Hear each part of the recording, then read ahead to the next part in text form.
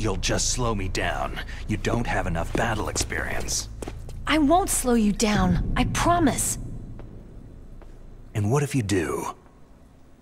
Then you can shoot me. I don't like to waste bullets.